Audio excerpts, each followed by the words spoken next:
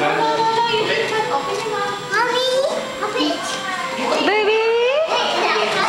Pila, wala naman din eh. Pero kasi. Dito eh. Pang matandang lugar to eh. dati, ano to. Retirement, ano. Pero ngayon, na eh. Marami na to. magtitiran. Open eh. Baliktad ang ang dito, dito po yung teka ng tatanda. Dito, huwag kang papahuli na nakain ka. Pero pwede kang magtira. Cocaine marijuana, mas lighter ang sentence ng cocaine marijuana. May, Kaysa sa driving under influence. o DUI rin. Grabe na. Kanina daw may merong ano eh, merong collection ng mga ano eh, mga citations, di ba? Di ba? Ilan na yun? Tickets! mga Speeding ticket o...